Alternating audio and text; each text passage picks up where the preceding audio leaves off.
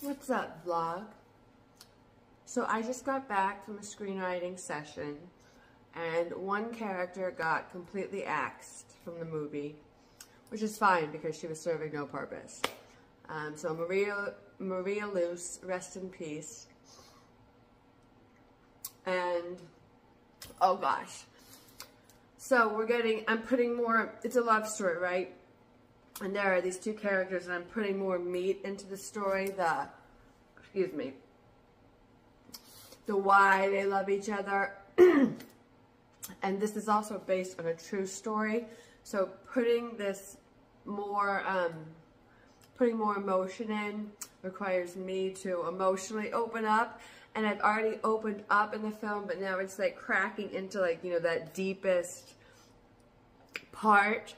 And which is good because it's the meat of the movie. But it's also like, ah, ah, ah. So that's what I have to do. And tomorrow I fly to New York.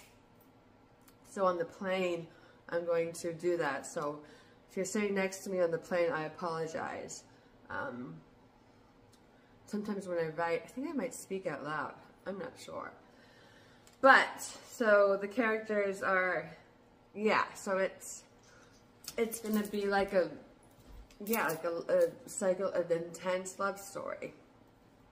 Um, and on another note, I'll be in yes, I'll be in New York, and I'll be having uh, sushi tomorrow night. I have a sushi date, so I'll let you know maybe how that goes, and um, yeah.